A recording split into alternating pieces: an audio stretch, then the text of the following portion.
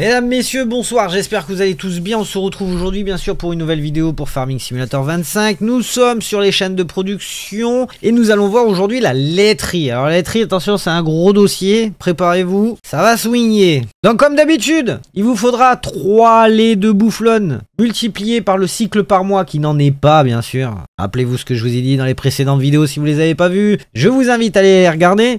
Que tout simplement le cycle par mois, si vous êtes réglé en mode saisonnier, par exemple sur 3 jours, pour un, mois, ça vous fera quand même le cycle journalier. Voilà, le cycle par mois, c'est le cycle journalier. Une mauvaise trade. 3 laits de bufflone multipliés par 52,8, ça vous donnera ce que vous avez besoin d'entrant. Et bien sûr, 45 beurre multiplié par 52,8 vous donnera ce qu'il vous faut en sortant. Donc prenez prenons notre cher tableau. Et commençons par le beurre de lait de bufflone. Donc en entrant, il vous faudra 158,4 litres mois.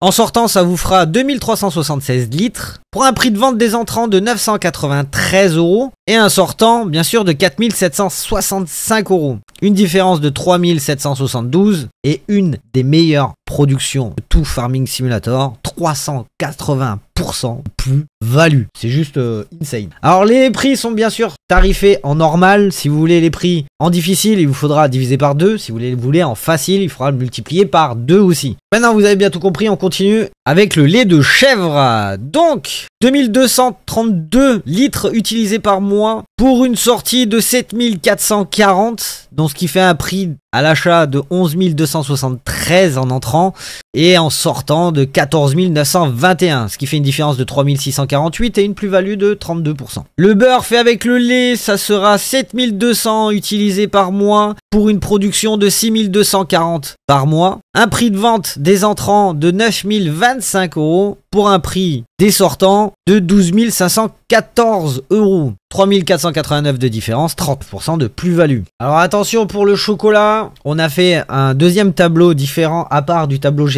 tout simplement parce que le chocolat a deux entrées. Il lui faut du lait et du sucre pour un cycle de 2520 par mois de chaque produit. Ce qui fait un entrant de 2520 de sucre et de lait, et ce qui fait un sortant de 2520. Donc le prix des entrants, ça sera 2257 euros de sucre et 3159 de lait pour une sortie des ventes des matériaux produits à 9027 euros. Une différence bien sûr de 3611 euros, ce qui nous fait 67% de rentabilité. Le fromage, on utilisera 3920 par mois et ça produira 2640 par mois. Un prix des entrants de 4964 euros pour un prix des sortants à 8510 euros pour une différence de 3546 euros, donc 71, 71% de plus-value. Le fromage de chèvre, vous aurez 2880 litres utilisés par mois pour 5760 de produits par mois, pour 14 545 euros de valeur des entrants et 18 153 euros des valeurs des sortants, pour une différence de 3607 euros, ce qui nous fait une plus-value à 25%. Le lait en bouteille,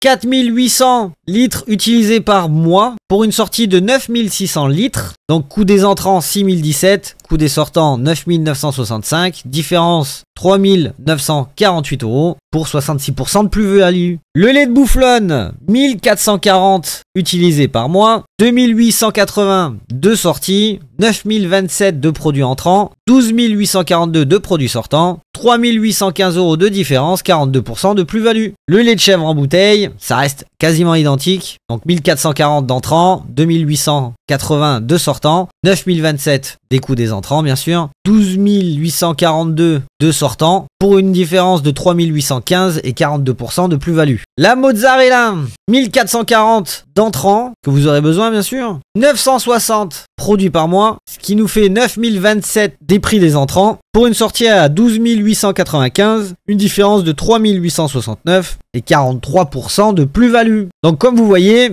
sur la laiterie, il n'y a pas à chier. Ça sera vraiment le lait de bufflone à 380% de plus-value qui sera juste euh, insane, mais de chez Insane. En deuxième position, vous aurez bien sûr le fromage. Voilà pour l'usine de la laiterie. Donc à l'avant de la façade, vous retrouverez la petite clé pour rentrer dans l'usine de prod. À sa gauche, pour charger. Et à l'arrière, pour récupérer vos palettes. C'est une toute petite usine, mais elle fait le café. Donc j'espère que cette vidéo vous aura plu. N'hésitez pas à mettre un petit j'aime, à me dire en commentaire ce que vous en pensez du lait de boufflonne qui est peut-être un peu archi cheaté. J'espère qu'ils vont pas le changer avec le patch. Et bien sûr, je vous dis à la prochaine avec Skizou. Ciao, bonsoir, ciao ciao.